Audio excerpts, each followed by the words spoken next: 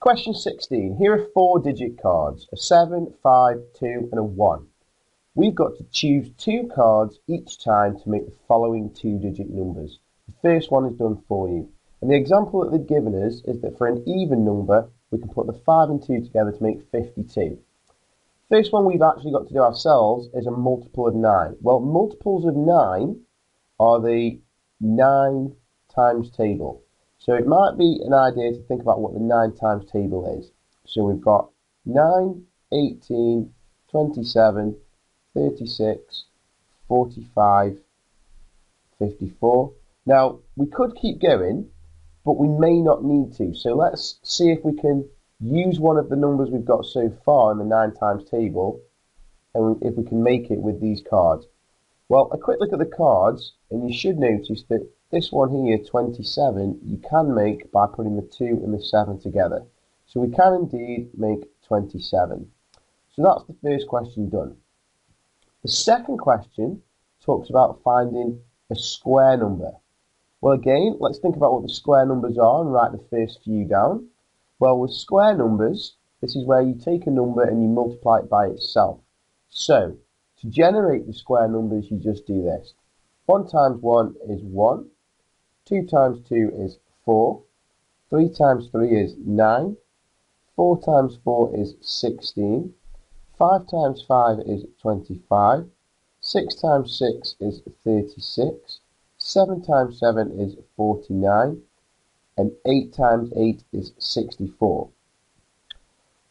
Well, what can we make using these cards? Well, it's got to be a two-digit number, so that will immediately eliminate 1, 4 and 9 because they're all only single digits. And a quick look at the cards will show us that we can actually make this one here, 25, using the 2 and the 5. So a square number can be 25. For the final part of the question, we've got factors of 96. Now again, it might help to try and work out what factors of 96 are and see what we can make from that. So remember, factors of 96 are pairs of numbers that multiply together to make 96.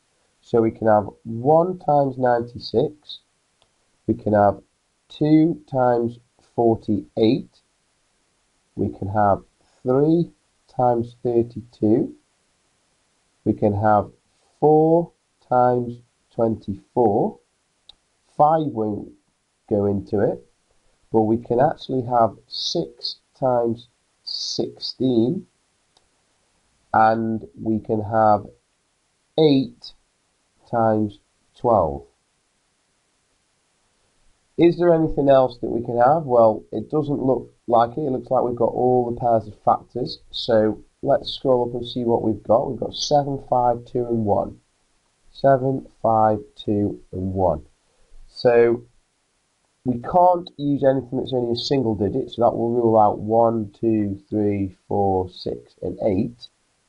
So what can we make using the numbers that are available? Well, we can make this one 12 by putting the 1 and the 2 together.